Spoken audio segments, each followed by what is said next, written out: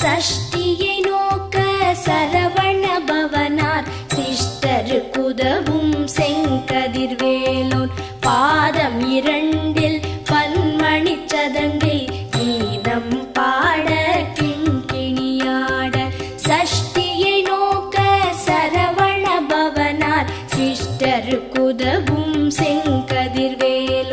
பாதம்